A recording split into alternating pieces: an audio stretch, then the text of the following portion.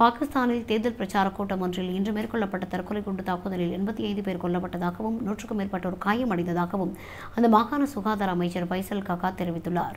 பாகிஸ்தானின் மாஸ்துங் மாவட்டத்தில் நடந்த இந்த குண்டு தாக்குதலில் குவேட்டா என்ற இடத்திலிருந்து முப்பத்தி ஐந்து கிலோமீட்டர் தொலைவில் மேற்கொள்ளப்பட்டுள்ளதாக அந்த மாவட்டத்தின் காவல்துறை அதிகாரி தெரிவித்துள்ளார். புதிதாக தொடங்கப்பட்டுள்ள பலுசிஸ்தான் அவாமி கட்சி வேட்பாளர் நவாப் ஜாதா சிராஜ் ரைசானியின் தேர்தல் கூட்டத்தை குறிவைத்தே இன்று இந்த தாக்குதல் மேற்கொள்ளப்பட்டுள்ளதாகவும் அவர் தெரிவித்தார்.